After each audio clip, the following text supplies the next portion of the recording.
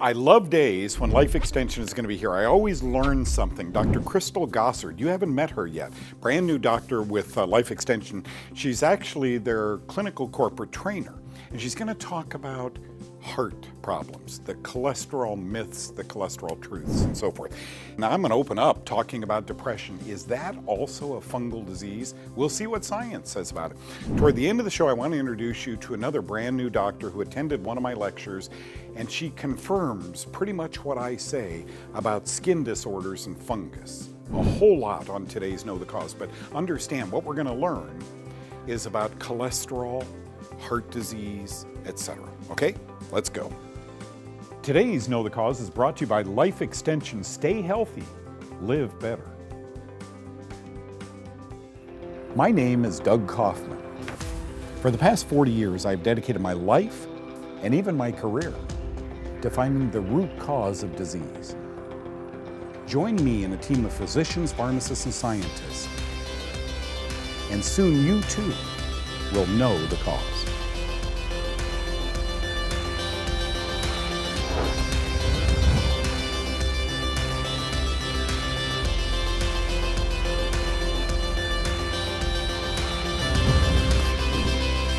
Friends, thank you for joining me right now. I wanted to pull a book out uh, right here The Missing Diagnosis, written by Dr. Orian Truss. He's a physician. I've had this book many, many years. I never met the man. Um, it's just one of these brilliant guys who understood, understood mold, mildew, and fungus. The book says on the cover, they may say you're neurotic. But do you experience depression, anxiety, irrational irritability, bloating, diarrhea, constipation, heartburn, indigestion, loss of self confidence, yada, yada, yada? Inability to cope, lethargy, symptoms from contact with foods, chemical odors, acne, headaches. In women, urethritis, cystitis, repeated yeast infections, premenstrual tension, uh, menstrual problems. In kids, hyperactivity, and it just goes on and on. I loved this when I saw it. I bought this 95 cents in half price books. The book is amazing. It opens with they may say you're neurotic, but do you experience depression? The numbers are staggering how doctors have gotten us on antidepressants. I could, you know, someday I'd like a, one of those little cameras and just walk into five doctors' offices and sit there and go, yeah, I really feel bad. I would go out with five antidepressants the side effects of these drugs, be careful. If mania, if walking into a bank with a gun is a side effect of uh, some of these drugs, then I'm worried, folks. I, I just, I listen all the time to the media. When someone walks into some place and shoots it up, my first question always is, which antidepressant did they begin on? I mean, I, that's just the way I think. I'm sorry.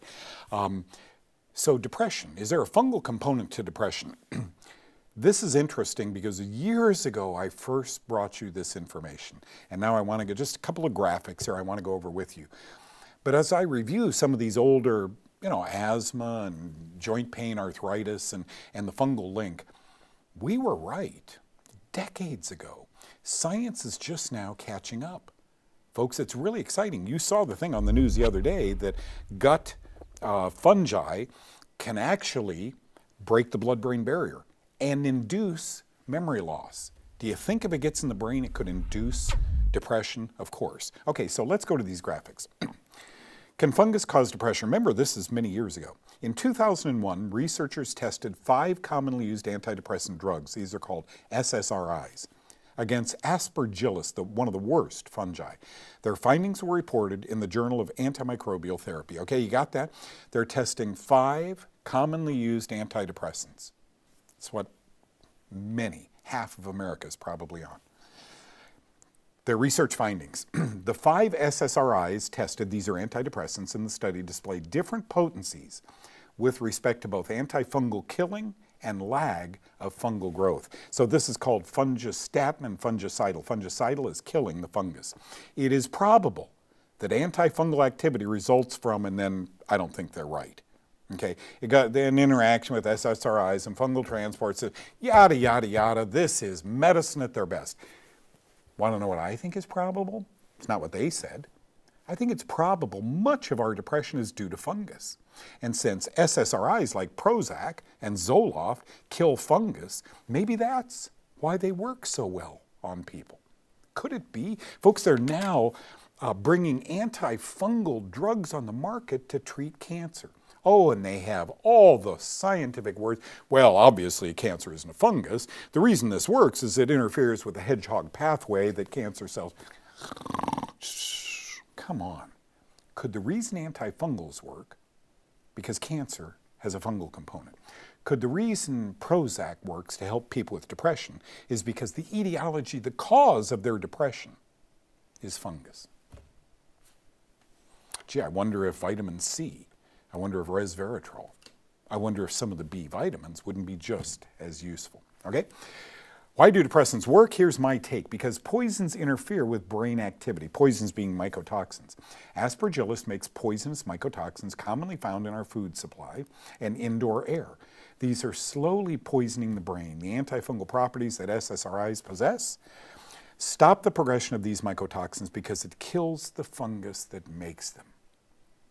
I mean, is that really complex? If I'm a doctor, it's not only erroneous, but it's way, way complex. Ah, it's not how they work. It seems that uh, fungal patterns are disrupted by these SSRIs.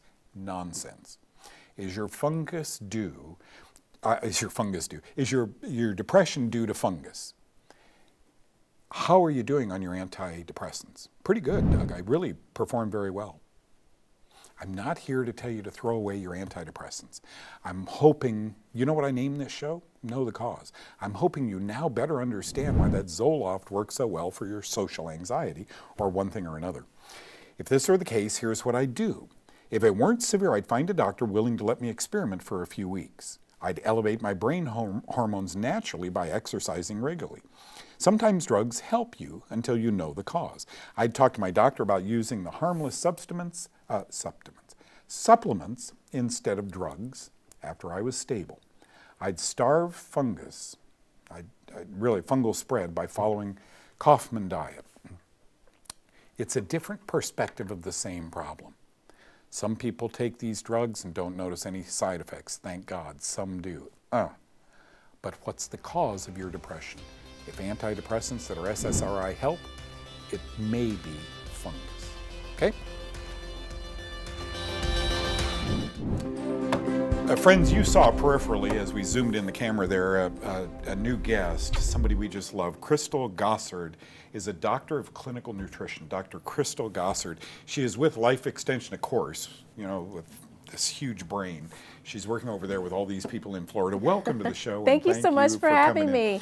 I'm you, excited to be here. You and I had so much fun before we went on because I was telling Dr. Gossard, a friend of mine, true story, went and got a physical the other day. His cholesterol was 205 and he ended up getting a statin drug. And you and I are both, not that there's anything wrong with that, uh, but we're wondering what's happened why was it when I was in the military doing cholesterol tests, a 300 was considered, okay, that's equivocal. And now a 200, oh, that's way too high. So welcome to the show and thank, thank you. you. so much for having me. Well, you, you know, that's a story that we hear so often. But the sad part about that is that one number, that 200 cholesterol, that's a calculated number. So, you know, the HDL is, is a part of that number. So maybe your friend has a higher HDL level but the doctors, you know, they're just looking at the cholesterol number and not really evaluating, you know, the LDL and the HDL and all of those other factors. I am so enamored by your background. You made it through the master's degree and all the dietitian and, and everything, and, and you're not making green jello in a hospital. You're helping this wonderful company grow and grow and grow. And she's here to teach us today about some of the myths with cholesterol, yeah. some of the facts. Um, and it's, I'm so happy you're here. And then to offer resolve for those of you who, you know, are a little bit concerned about the old ticker and the blood vessels yeah. and so forth. So give us some of the myths. Well, I think the, the overwhelming number one myth is the fact that cholesterol is the number one risk factor. And that's really the focus for most people is I've got to get my cholesterol yeah. down. I need to get it down. When in fact, life extension, we've done the research and we have identified 19 risk factors associated with heart disease that many people will never, they'll probably die of heart disease and they would have never ever heard about it. So, like fibrinogen, you ask the average person or your friend, Yeah. do you, you know, has your doctor ever tested your fibrinogen? Do you know what it is? What No. about CRP? Yeah. I, you know, the, the comment, I think about my dad, he has, you know, high cholesterol, has never had a CRP level tested. And, you know, that's your marker for, yes, systemic inflammation in the body. So, you know, we are missing the mark. And really, that heart disease remains the number one cause of death in the country. I know, not number two. Not Used to be number cancer two. and then heart disease. It's heart disease. So can I put my MD hat on? Okay. Why? What do I do with these patients that come in here and have 225, 245 cholesterols? Isn't that increasing their risk for a cardiovascular event? Well, it is, and so and that's that's a fact. It is a part of the risk factor, but we should be looking deeper. We should be doing more advanced cholesterol testing. You know, your friend, let's find out. You know, what is your LDL? Do you have the small, dense LDL particles that's Right. more likely to infiltrate uh, the arterial wall and kind of set up plaque? Or do you have the larger buoyant? And that helps to guide a practitioner as to, you know, what is this person's risk? How do, do they need a medication? Do they need a statin? We know that statins, that's kind of your number one go to. Somebody's making billions of dollars Yep. on, on the statin medications, and the research is really showing that uh, the cholesterol, it shouldn't be as low as possible. It's not really uh, reducing mortality. There's like a new class of, of drug out there that can really get the cholesterol down really low, and people are still dying Are of you, heart uh, disease. So you're telling me the bottom line. See, what I'm thinking as I'm talking to you, 200 has been established kind of as a random Yeah. cutoff, right? What about the person who takes this drug and goes to 170? Are they guaranteed excellent cardiovascular health? No, you're not because there's so many other risk factors. You oxidize LDL, glycated LDL, and this is LDL where now your excess blood sugar has now started damaging that LDL. Now it can't deliver the, the cholesterol into the cell. And so, really understanding these LDL, know that these are transporters around the body. These are transporting cholesterol out to your cell. The HDL, that's the good transport truck that's out there picking up cholesterol. And you know, you can actually have small or larger HDL molecules as well. Now, don't go away because when we get back, isn't she fascinating? When we get back, we're going to talk about life extension, not regular products, life extension products that might help, okay? We'll be right back with Dr. Gossett.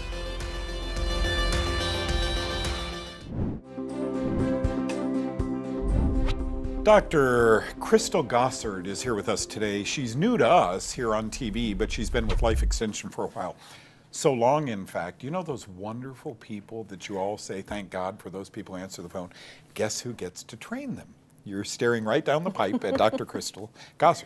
Um, I have a question for you. Okay. We were talking about cholesterol tests. Yes. And, you know, 20 years ago, I remember everybody would do a finger stick and, you know, gee, your cholesterol's 250, you need a doctor, and so forth.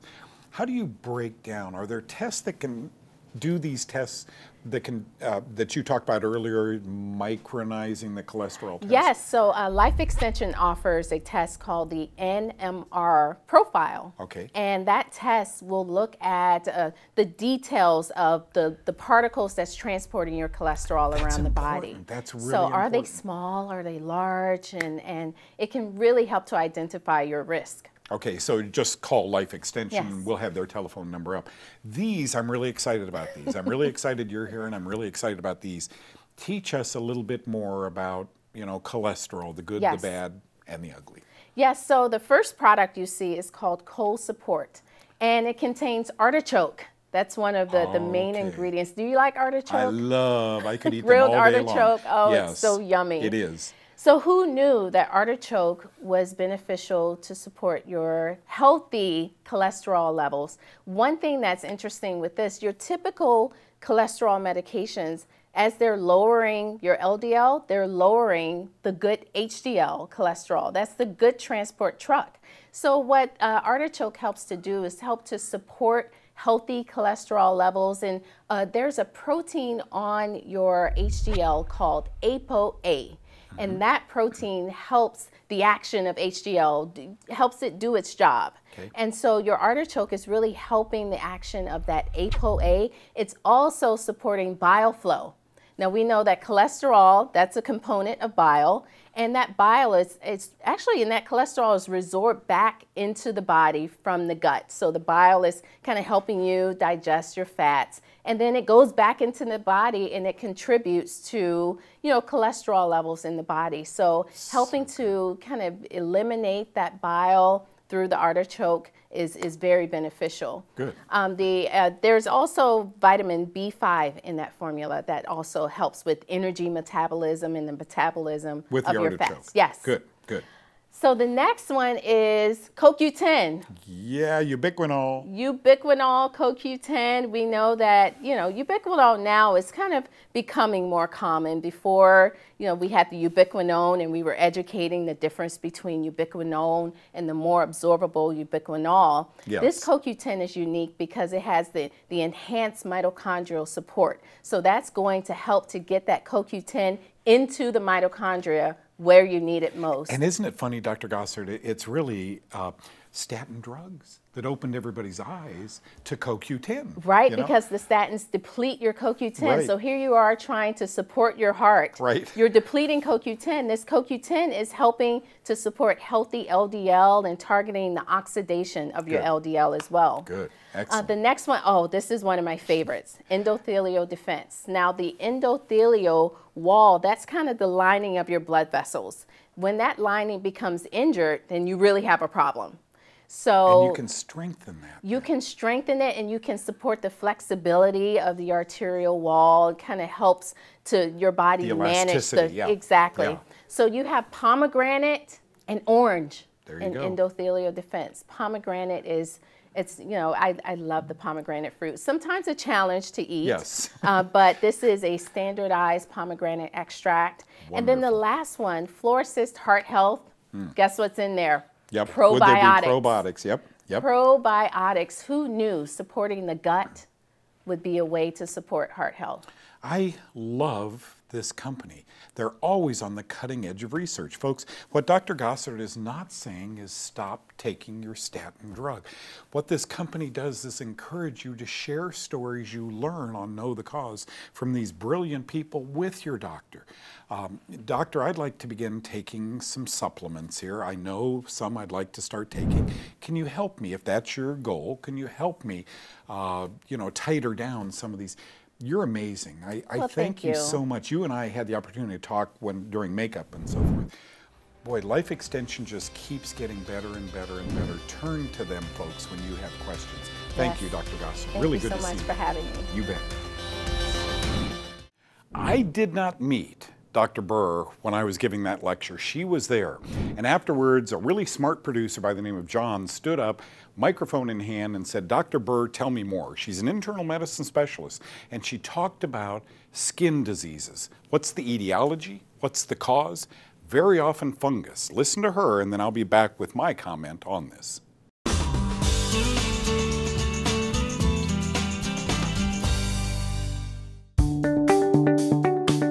Two that uh, success stories, wonderful stories that come to mind um, that I will never forget.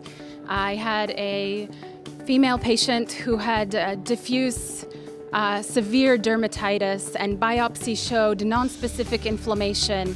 And she had it for a year, and it was becoming more and more severe. She spent a year on steroids to suppress the immune system, and then the dermatologist said, "This isn't working. We're going to put you on an immunosuppressant agent, cyclosporin." And two weeks of taking that freaked her out. The side effects are scary, and she came to me in an integrative practice. And I identified immediately that this is a fungal problem, um, mainly from taking her history. Diet was high in carbohydrates, sugar, and drinking four beers a day. So we completely revamped her diet using food as medicine and um, put her on. I, I really enjoy using a blend of um, antifungals, herbals, um, and also worked on a lot of biofilm disruption. And, and I, I used really natural products, herbs, and some uh, charcoal binders and uh, and diet, and kind of healed her gut and digestion. And within a month, her skin was clear and um, it was just incredible. Doug's work and, and his research and, and uh, his approaches, I've seen it with my own eyes. I'm doing the work, and it's remarkable, and it's healing people, and it's healing the nervous system, and yeah, it's incredible. So the patients that I see have seen many practitioners. Um, and many different specialists. And the most recent patient I am seeing has seen 32 different doctors. So we're, we're, we're digging deep, we're getting to the root of the problem. Um, and, uh, and really, I, I see myself as a medical detective, not a medical doctor in that way.